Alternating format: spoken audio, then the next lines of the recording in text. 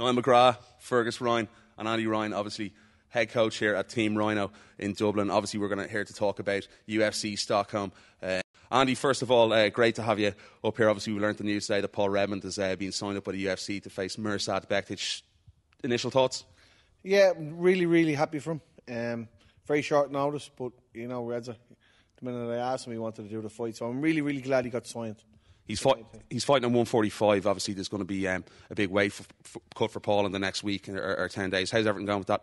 Yeah, it's going well. Um, Paul made 70 easy enough for Cage Warriors, and the plan was was to fight at featherweight New Year's Eve. Didn't happen, and the plan was to hit the UFC at featherweight.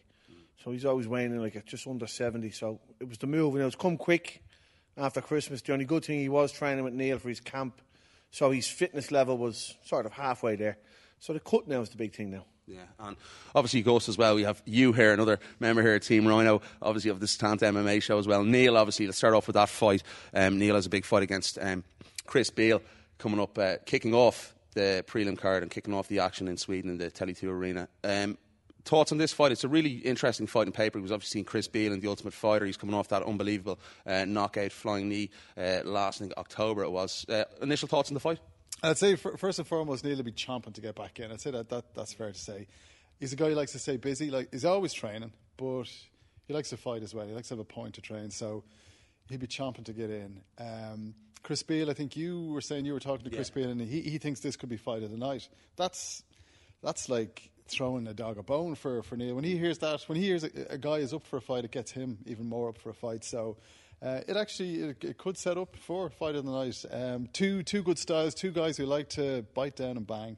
Um, I've said it a number of times. I don't think I've ever seen Neil rocked, let alone dropped. So, you know, Chris would want to be on his A game if he if if he thinks uh, he, he can do something. Yeah, it. it lines up well. I'm just a little bit surprised looking at the prelim card of it. The fact that Neil and Chris are on the fight pass section. It's actually probably one of the, the best fights um, that is outside of the main card. Is that fair to say? Yeah, I mean, I, I, don't see. I don't know why it's not at least higher up on the prelims or knocking on the door the the, the main card. Um, maybe it's because Neil is coming off an injury. Uh, he missed his fight down in Australia because of a broken rib. Maybe it's that. I don't know. But um, Chris Beal would have been one of the names in that TUF series he was in, the bantamweight one that Chris Holdsworth won. So yeah, a bit surprised it's it's you know first out of the out of the gate. But having said that, if it is, if the two lads are hoping it's going to be or are, are trying to get a fight of the night, it'd be a great one to start off the card. Definitely. And how's everything with uh, how's everything with Neil Andy? Is, is, is the rib all healed up and everything yeah, good on that front? Yeah, the rib is great. He's been training hard. He's been sparring hard and um, he's been holding up all right in training. And first fight or last fight in the card, it doesn't bother, it doesn't make a difference mm. us. It's get in there, get the win, you know. And especially in Sweden, it's going to be like Dublin. It's going to be packed out from early. You know, he's not going to be fighting in front of 20 people waiting for the superstars to come in.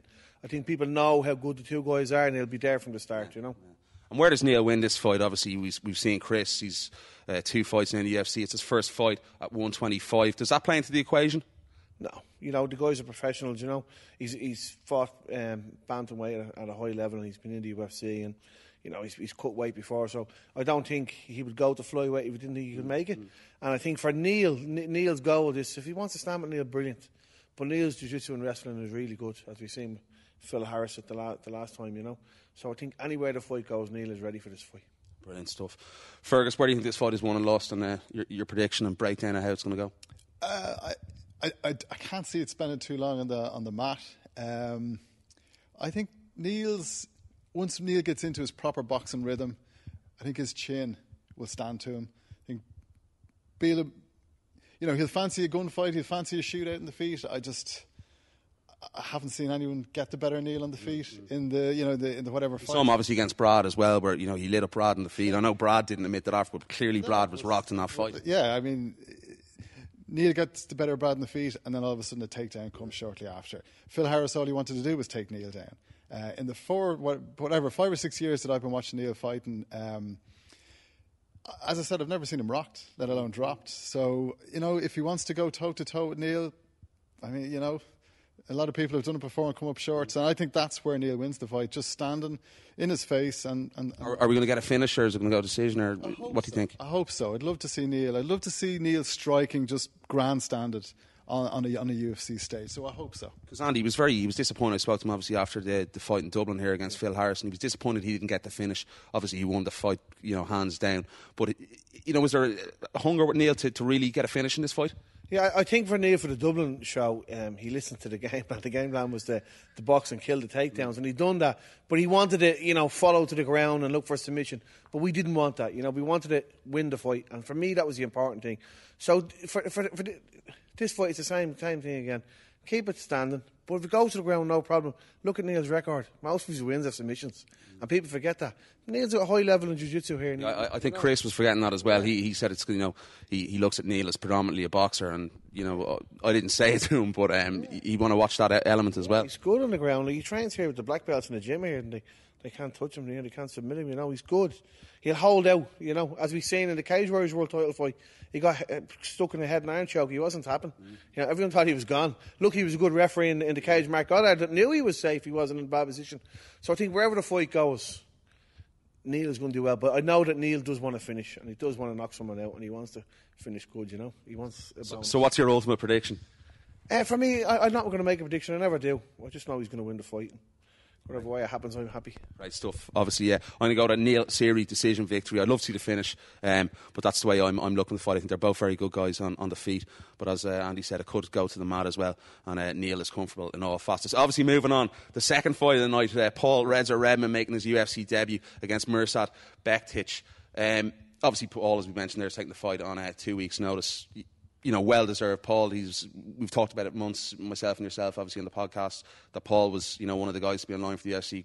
Great for Paul, first off. Absolutely, yeah, it's brilliant. Um, I mean, you would have liked a bit more time. It's two weeks. Um, you know, he, he, hasn't fought since maybe last August, is it? Or yeah. So you know, he's he's been training, but he hasn't fought in, in, in five six months. Um, I think the only issue, and it's not even an issue because he'll do it, is the weight. Just getting down to, to featherweight.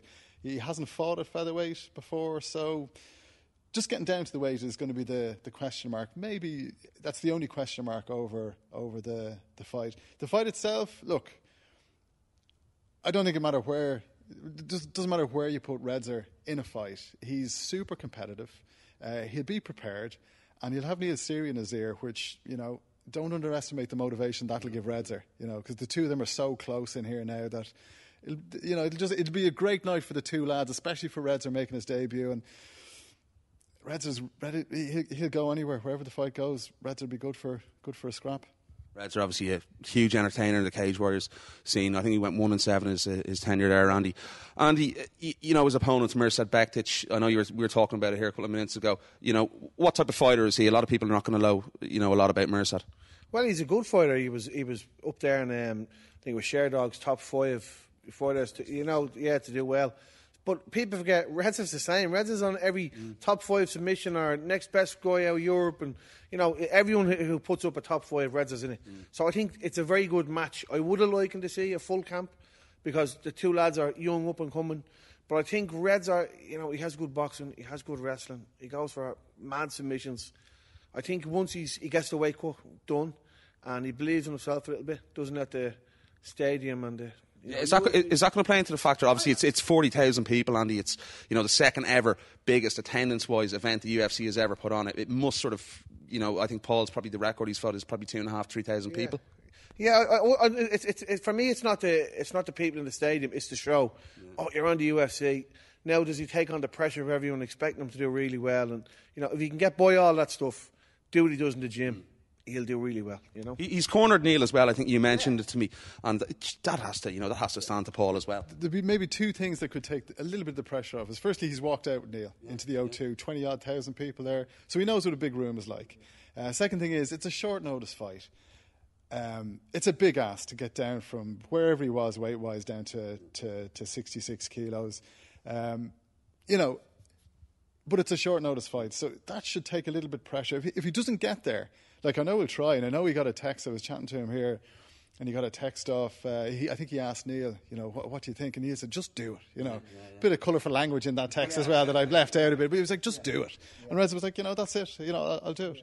So that should take a bit of pressure off. And the fact that he's been into a big room with Neil, you know, and the fact that two weeks. I don't know. You probably know more about this. Only two weeks. You don't really have to think about it as much. You don't have as long. So there's nothing really to lose for Reds in this situation. No, there's not. There's not. And um, you know, for for me like he, ha- he has done the work up to this. Okay, we're not getting the, the you know the time before the, the, proper training camp, but he has been working the last two years hard. Mm. So you know, and he has you say because he has been in the corner with me, and he, he has walked out in the big the big camps, and he's you know he's done the whole work. So I just think if he believes in himself, puts the head, head down, the hands up, I think he could win this fight. You know, potential fight of the night as well. Anytime Paul's involved in a fight, you know, there's there's exciting submissions, and we've seen Paul in cage warriors and numerous amount of times.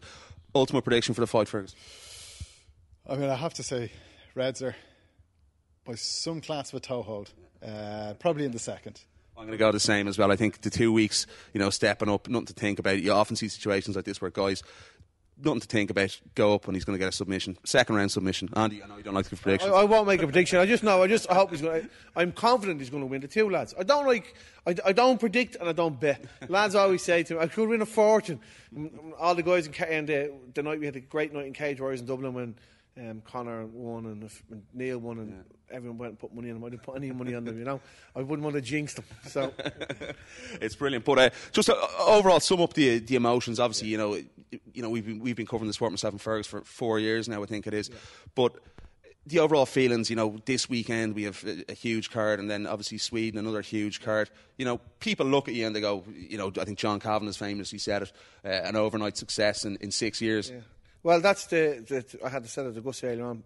People think this happened overnight. Think, you know, okay, you're on Cage Warriors New Year's Eve. Next of all, you're on, you know, the USA. It doesn't work like that.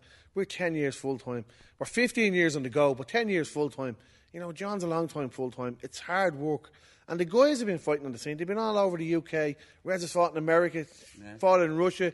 You know, they fought everywhere, the guys have. So it's just a matter of building up time, putting the work in and the payment comes off then, you know. So it doesn't happen overnight, you know. Fucking does me head in.